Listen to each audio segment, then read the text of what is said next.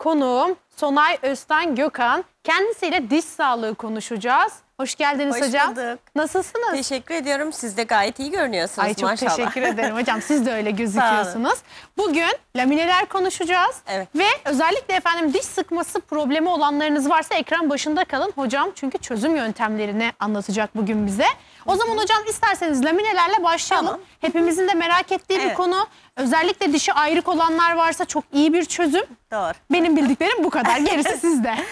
Şimdi laminelerde bunlar bir kozmetik diş hekimliğinin kozmetik e, olarak kullandığımız malzemelerimizden birisi aslında. Estetik diş hekimliğinde çok fazla kullanırız. E, dişten çok az madde kaybı oluyor. Yani böyle 0,3-0,7 milim kadar kesiyoruz. Bazen hiç kesmiyoruz. Mine düzeyinde, dişin dış kısmında mine vardır ve o düzeyde bir aşındırma yapıyoruz dişten. Dişin iç kısmı yani dilimizde götürdüğümüz o kısım kendi dişimiz olarak kalıyor. Dolayısıyla daha doğal olan bir diş e, estetiği malzemesi. Ne yapıyoruz? Oradan aşındırdıktan sonra e, tabii laboratuvar işlemleri oluyor. Sonrasında yapıştırılıyor ve yapıştırıldıktan sonra onu o dişten ayırmak mümkün değil. Eğer çıkarmak istersek onu keserek çıkartıyoruz. Yani sanki diş kesermiş gibi. Laminaları nerede kullanıyoruz? Eğer dişlerde e, diş beyazlatmalar ile gideremeyeceğimiz renklilikler varsa bazen doğuştan oluyor. Tetrasiklerin renkleşmeleri diyoruz. Aşırı florlar e, sular içmekten kaynaklanan florozislerde çok böyle bunlar simsiyahtır dişler ve bunları istediğimiz kadar beyazlatma tekniklerini kullanalım gideremeyiz. Bu durumda burada çözüm olarak lamina dişten çok az madde kaybı yapalım ama hem de güzel bir görüntü görünsün. Yine çarpık dişlerde de kullanabiliyoruz ama çarpık dişlerde tabii ki en doğal, en güzel yöntem ortodonti tel takılarak düzeltilmesi. Ama kişinin bunun için zamanı yoksa, daha kısa vadeli bir çözüm istiyorsa, daha hızlı bir şekilde bir çözüm istiyorsa bu laminalardan faydalanabiliyoruz. Laminaları en güzel tarif takma tırnaklar gibidir. Hmm, güzel bir tarif. Aynen öyle. Takma tırnak hastalar geldiği zaman hatta derler ki şu takma tırnaklar var ya onun gibi olandan ismini bilmeyen hastalar laminalar bu şekildedir. Yani dişin sadece ön yüzeyini kaplar. Arka ve iç yüzeyler kişinin kendi dişleri olarak kalır. Çok güzel ışığı yansıtırlar bunlar. Pırıl pırıldır. Dışarıya doğru ışığı çok yansıtmalarından dolayı mükemmel bir estetik verirler. Herkes derdi ki eskiden yani ilk mesleğe başladığımız zamanlarda hakikaten laminalarda e, yapışmasında sorun vardı. Çok kaliteli yapıştırıcı malzemeler yoktu. Düşme problemleri mi problemi oluyordu? Oluyordu. Ama şu anda öyle değil. Çok kaliteli hakikaten e, yapıştırıcılar var ve yapıştırdığımız zaman onu dişten ayırmak mümkün değil. Diş dokusuyla birleşiyor. Dolayısıyla da sağlıklı bir yapı oluşuyor. E, ama bunda çok e, mükemmel bir ölçü almak, çok mükemmel hekim için daha ince bir işçilik gerektiriyor. Ve laboratuvar kısmı da öyle. Şimdi biz hekimler sadece kendimiz yapmayıp laboratuvarlarımız da oluyor. Dolayısıyla bunların birbirlerini anlayan, bütünen çalışan bir yapı olması gerekiyor. İyi malzeme, kaliteli teknisyen, kaliteli malzeme, tecrübeli bir doktor mükemmel bir görüntü meydana getirebiliyor. Aslında heykeltıraş gibi çalışıyorsunuz Aynen hocam. öyle. Yanlış ölçü alındığında düşünsenize. Yani Bunlarda milimetre o kadar önemli ki yani bir milim iki milim kaydığı zaman o aldığınız bütün ölçü boşa gidiyor. Eyvah. Bütün her şey boşa gittiği için bir işe yaramıyor. Bunda aslında hasta geldi ya ilk önce geldiniz ben lamina yaptırmak istiyorum dediniz. Bir ölçü alıp makap dediğimiz bir şekilde onu ölçüyü döküp e, bir şekil hazırlayıp hastaya gösterebiliyoruz aslında. Aa, o da Hani sizin sonraki dişiniz böyle olacak. O Güzel. ölçü üstünde aşındırarak yaptığımız zaman o da ona bir fikir verebiliyor. Dolayısıyla daha biraz daha göreceli ve daha güzel. peki rengini seçebiliyor muyuz? İstediğimiz rengi seçebiliyoruz. O da güzel, konforlu. evet. Zaten hani renk değişimlerinde daha çok uygulandığı için veya aralıklı dişler o aralığın kapanmasını istiyor. Kesin bir çözüm istiyor. Bunlar en önemli özelliklerinden birisi kesinlikle sararmaz. İstediğiniz kadar Öyle çay, mi? kahve, sigara ne içerseniz için sararmıyor. Yani iki gün fırçalamadınız. Tabii ki fırçalamama diye bir şey yoktur asla. Ama e, o ne kadar içersek içelim bazen 8-9 kahve içiyoruz. Ben içiyorum o kadar. Ama Evet o- ben çay ama- çok seviyorum mesela. yani çok tutkun kahve tutkunları özellikle e, kesinlikle onlarda herhangi bir sararma falan meydana gelmiyor. Ama hocam şurayı bence bir kez daha izleyicilerimize hatırlatalım. Evet lamineler sararmıyor ama kesinlikle fırçalanma, fırçalanması gerekiyor. Çünkü neden? Şimdi lamina diş yüzeyini kapladı. Aha. E, bunun özelliği ne? Ne kadar uzun süre kalır diyor hasta. Ben diyorum ki sizin Allah'ın verdiği dişi siz bozmuşsunuz gelmişsiniz. e, bu bizim yaptığımız bir diş. Ne kadar kalacağını siz belirlersiniz. Doğru. İyi Malzemeyle kullanmak ilgili biz lazım. tabii hani bir şey oldu tamam onun garantisini verebiliyoruz. Malzemesel veya işte yanlış ısırdı öyle bir şey yapabiliyoruz ama iyi kullanması, iyi fırçalaması lazım. Ne olur bu sefer diş eti yavaş yavaş açığa çıkar. İyi fırçalamadı. Diş eti çekilmesi olur. Oradan kocaman o tırnak böyle koyulduğu zaman pat diye içerisine girecek şekildedir.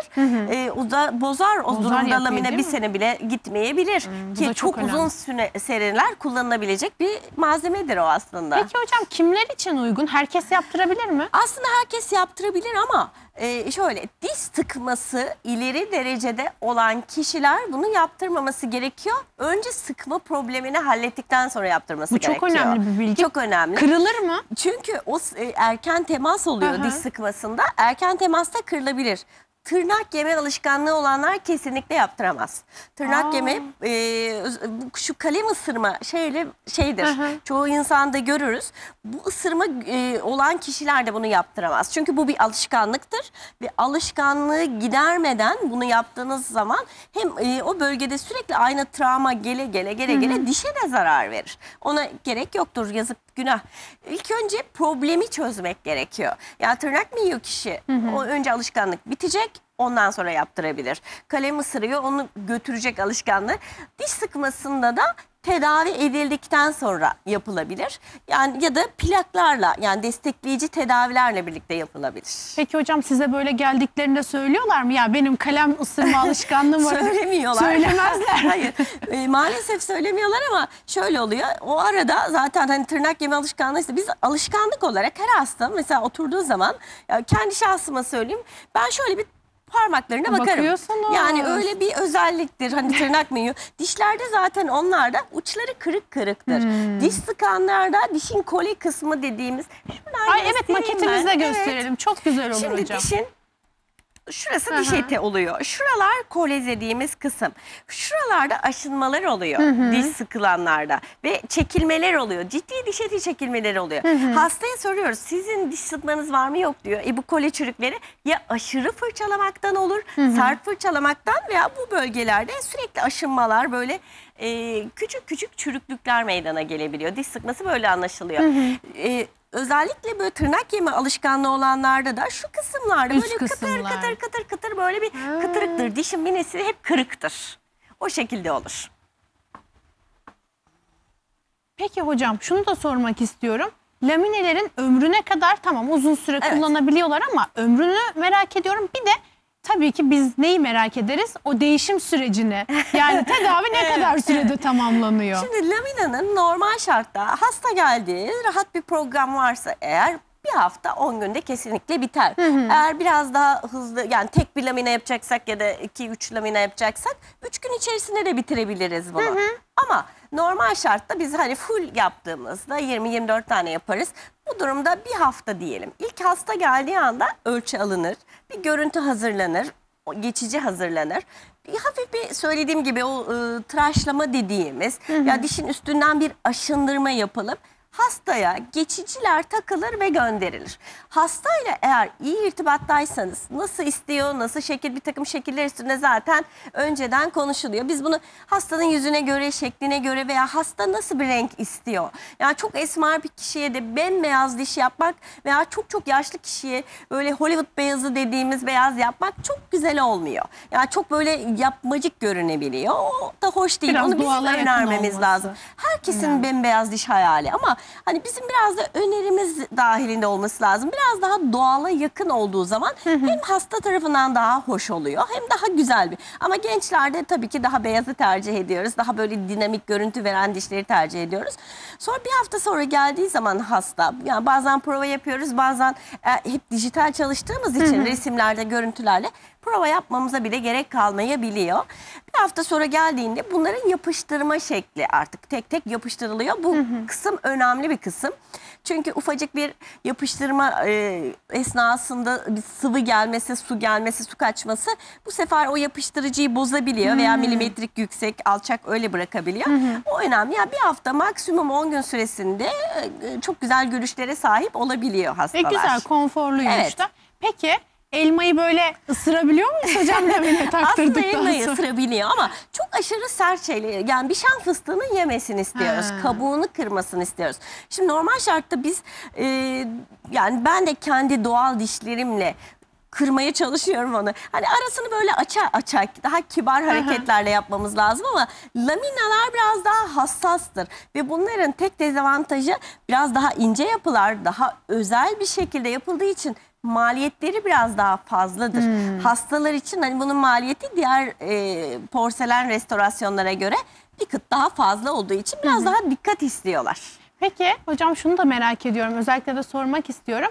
Ön dişlerinde ayrık olan birisi. Evet. Ya sadece iki dişine yaptırabiliyor mu? Yaptırabilir. Ha illa komple Ya üst tarafın değişmesi diş- gerekmiyor. Tabii hastaların sorduğu en önemli sorulardan birisi aslında. Ama benim yan dişlerim sarı kalır o beyaz kalır. Evet. Şimdi diş yapmak demek illa beyaz diş yapmak demek değil. Yani her türlü diş rengi var. Bizde e, bir skalamız vardır renk skalası. Mesela bir koyu renkli bir dişin aynısını taklit edebiliriz. Ha, yapılabiliyor Önemli öyle de. olan hani diş yaptığımız zaman o bembeyaz olacak diye bir şey değil. Biz hadi estetik çalışmalarda hani hepsini yaptığımız zaman yapılmışken beyaz olsun deriz ama diğer dişlerinde hiçbir problem yoksa zaten estetik görüntüsü de iyi ama rengi birazcık sarımtıraksa kişide de hoşuna gidiyorsa illa da beyaz diş olacak diye bir şey yoktur. O iki dişi de yaptırabilir, tek başına dişi de yaptırabilir. Bizim en zorlandığımız vaka ön dişi taklit etmektir. Ön iki dişlerden birini kendi dişim diyelim benim. Şunu taklit etmek daha zordur. Birebir aynısını vermeniz lazım. Renginde, onun içerisinde bir takım yapılar var. Ee, bir takım mamelom deriz. O, o, e, minenin şekilleri.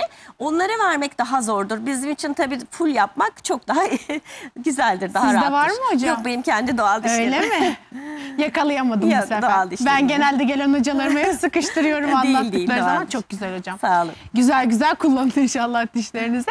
Peki hocam şunu da sorayım. Şimdi ağza dışarıdan bir madde sonuçta takılıyor. Evet. Herhangi bir ağız kokusuna sebep olur mu? Şimdi bunların içerisinde metal yok. Aha. Çok ince materyaller ve dişle e, kimyasal olarak birbirine bağlanıyor. Dolayısıyla arasında aralık olmadığı için yiyecek girmesi ve koku yapması mümkün değil. Ama üstüne basarak söylüyorum fırçalandığı zaman. Şimdi e, fırçalanmaz ise eğer kişilerdeki yanlış inanışlardan birisi diş yaptırdım ben o kadar emek verdim o kadar para verdim Bir daha bir fırçala. daha fırçalayacak mıyım deme. Bu soruyla Ay, çok karşılaşıyorum ben. Bayılıyoruz her işin kolayına kaçmaya gerçekten. Bir, bunu fırçaladım o zaman bu kadar emek bu Niye kadar ya? para niye verdim şeklinde söylüyor. Hayır tabii ki fırçalanacak. Biz ne yapıyoruz? Doğal dişimize yakın olan dişi yani sağlam dişi taklit ediyoruz. Taklit ederken biraz da estetik hilelerine başvurup güzel şeklini veriyoruz. Ama sağlam dişi nasıl ki fırçalamazsak çürür, bozulur. Bu da çürüyebilir. Yan taraflarından hava alabilir, bozulabilir. Mutlaka fırçalanırsa kesinlikle ağız kokusu yapmaz. Yapmıyor. Yapmaz. Peki bir de zirkonyum diye bir şey duyuyoruz Evet. hocam. Nedir zirkonyum? Şimdi zirkonyumda da e, içinde zirkon denilen metali var. E, beyaz bir metal. Yani e, normal eski porselenlerde içinde bildiğimiz nikel metal vardı. Onun üstüne porselen işlenirdi. Ne olurdu? Mat bir görüntü olabilirdi. Ya da ne kadar parlak olursa olsun onun opaklığı doğal görünmezdi. Hala da yapıyoruz gerekliyse Öyle vakalarda. Yine yaptığımız oluyor. Ama zirkonlarda lamina gibi değil dişin her yüzeyini kesiyoruz. Yani dişi toptan kesiyoruz. Fakat ne yapıyoruz? Yine çok aşırı şekilde metal porselenler kadar fazla kesmiyoruz.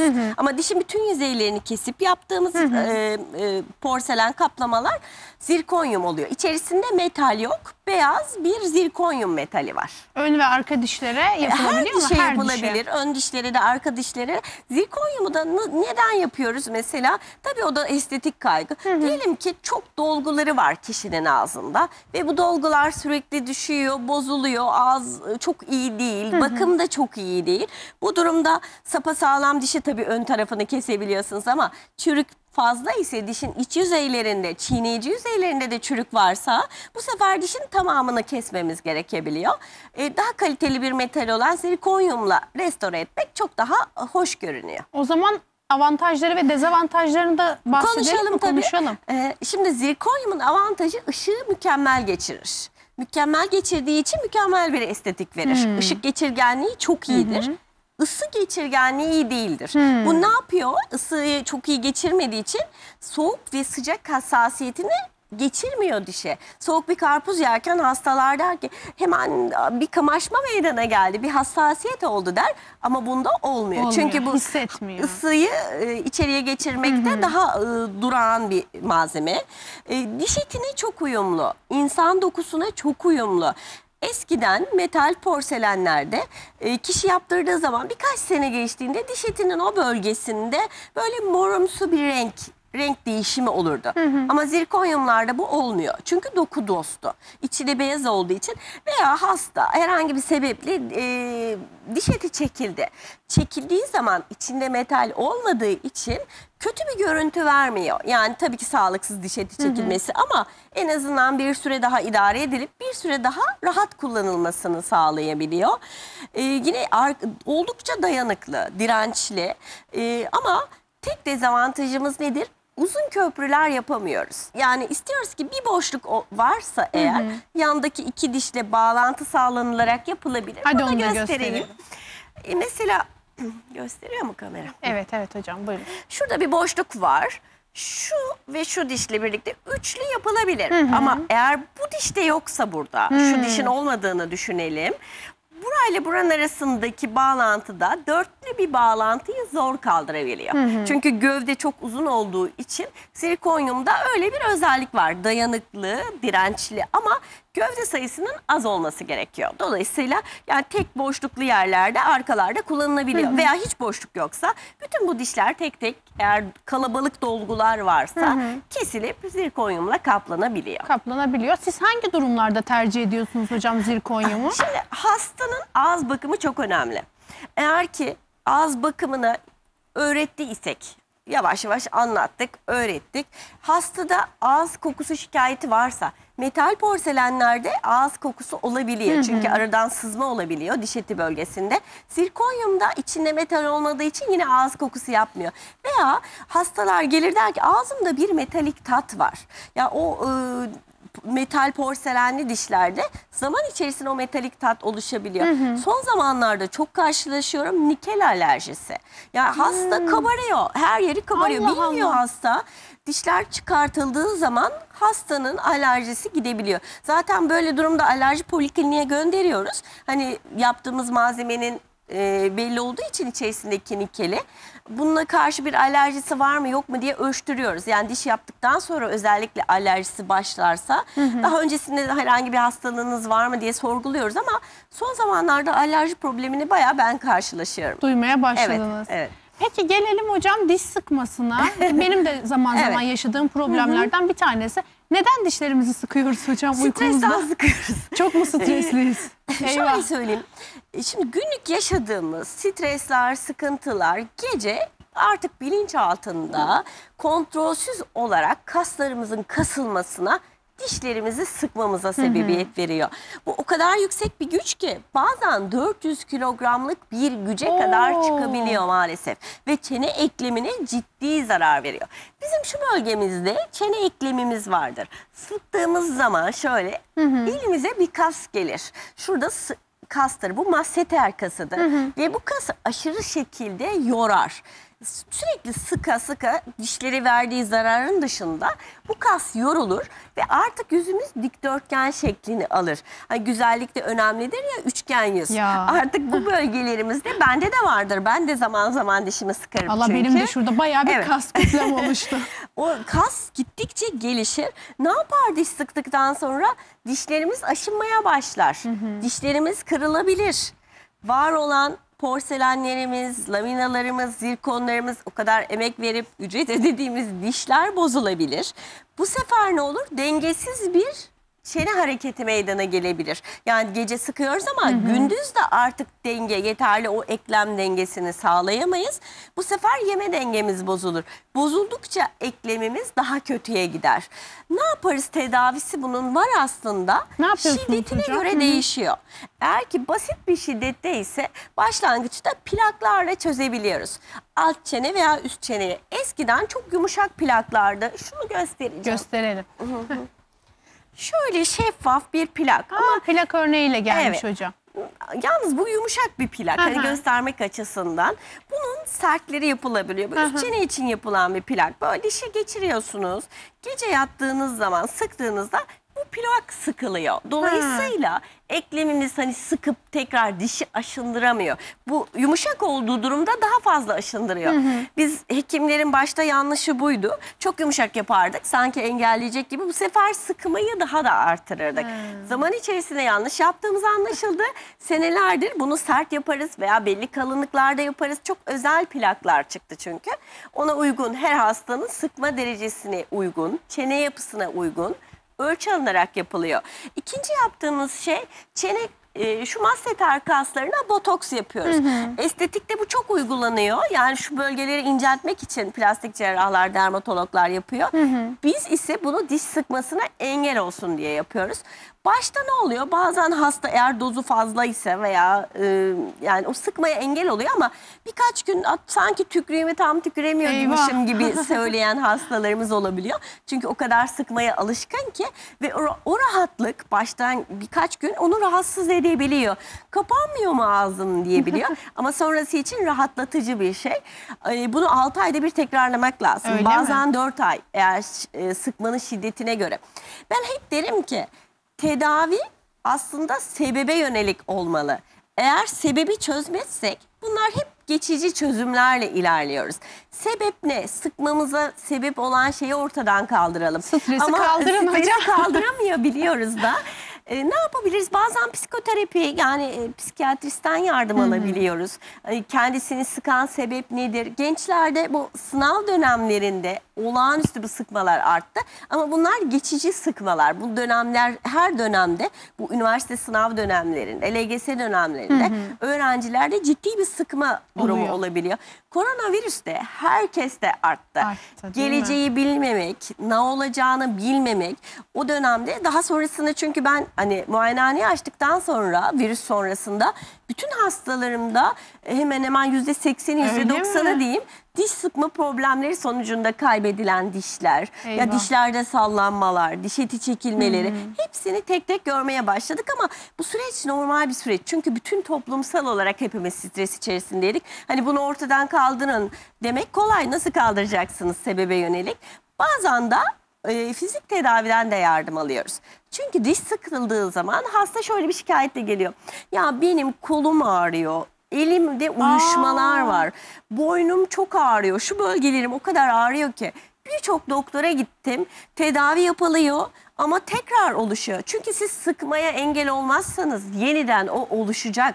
Yani sebebi ortadan kaldırmak gerekiyor. Bazen o el uyuşmalarının basit bir diş sıkmayı ortadan kaldırdıktan sonra azaldığını görmek gerçekten mutluluk verici oluyor. Na, komplike bir tedavi uygulamak lazım. Yani biz hekimlerin birbirlerimize aslında hastalarını göndermesi danışmamız gerekiyor. Ya ben diş hekimi olarak aldım. Plak yaptım bu bitti değil. Fizik tedaviden de yararlanacağım. Psikiyatristten, psikologlardan da yardım isteyeceğim. Yani e, belki masseter kası için nasıl görüneceğine dair çok ince yüzlü birisine yaptığınız zaman belki kötü görünecek bir plastik cerrahtan da yardım isteyeceğim. Komplike olarak yapıldığı zaman çok daha güzel bir çözüm olabiliyor. Hocam şey olur mu? Hani mesela sınav zamanlarında artar dedik diş sıkması işte Evet. korona döneminde arttı dedik. Sonrasında da tamam dönemsel olarak arttı ama alışkanlığa, döner alışkanlığa ve kalır mı? dönebiliyor. Maalesef 20 gün 21 gün sonra yapılan Evet. her işlem alışkanlığa dönüyor. O dönemde işte bir miktar belki bir iki seans konuşmak onlarla basit bir plak iyileştirici etki yapabiliyor. Ama bu çok ileri dereceye geldiyse sadece plak yeterli olmuyor maalesef. Ve artık çenede kıt kıt sesleri oluştuğu zaman kişiler korkmaya başlıyor. Rahatsız Eklem oluyorlar. artık yer değiştirmeye başlıyor. Zaman içerisinde bazen hasta esniyor. Esneyerek ağzı açık kalıyor. Ağzını kapatamayan hasta olabiliyor. Aslında ciddi bir durum bu ama çok önemsemeyiz. Hep üstüne bir geçiştiririz. E, Sıkıyorum strestendir. Sıkıyorum ama e, bütünen bir tedavi uygulandığında tedavisi gerekiyor. var. Evet.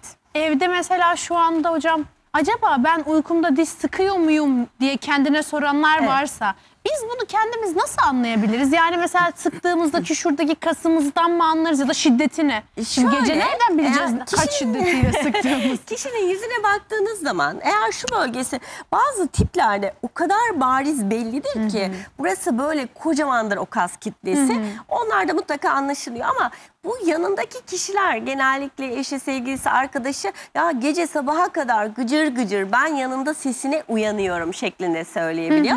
Biz diş hekimleri baktığımızda dişin yüzeylerinde hani o tüberkül dediğimiz kısımlar aşınmış olduğu için zaten anlayabiliyoruz. Hani e, sıkmıyorum dese bile anlaşılabiliyor. Veya elimizi koyduğumuzda aç kapat dediğimizde o gücü görebiliyoruz. Yani genellikle bize başvuranlar da yakınları aracılığıyla başvuruyor ve kimse kendinde hata bulmuyor. Sıkmıyorum ya diyor. Belki bir kere sıkmışımdır. eyvah eyvah. Peki dedik ki hocam bu diş sıkmalarından dolayı diş kayıpları olabilir. Evet. Diş kayıpları olan kişilere nasıl bir tedavi uyguluyorsunuz? Çünkü o herhalde artık son raddesi. Artık son e, çünkü diş sıka sıka artık bu kişilerde e, diş eti de çekiliyor. Çekilen diş etinin yanında diş kemiği de eriyor. İkisi bir arada olduğu zaman tabii daha kötü. Dişler yavaş yavaş sallanmaya başlıyor.